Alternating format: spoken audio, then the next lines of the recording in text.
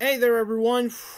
Former New Orleans Saints offensive tackle Terron Armstead made has finally found his new home, folks, and it is Miami Dolphins. Yeah, Miami Dolphins got Terron Armstead to protect Tua at all costs, folks. Yeah. Yeah, Terron is agreeing to a five year deal with Miami Dolphins and is ready to really helped Tua out, folks. Thank God I thought he was going to be with Indianapolis the minute Matt Ryan came in the building. But luckily, thank Miami Dolphins fought for him until the end. Thank the Lord. Oh, man. But yeah, he spent 2013 for the present with the New Orleans Saints, and now he's ready to start all over again.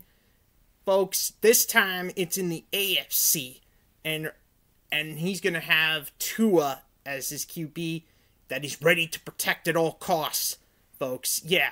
Anyways, Terron, good luck with the Miami Dolphins, and I'll see you all when I bring even more breaking news.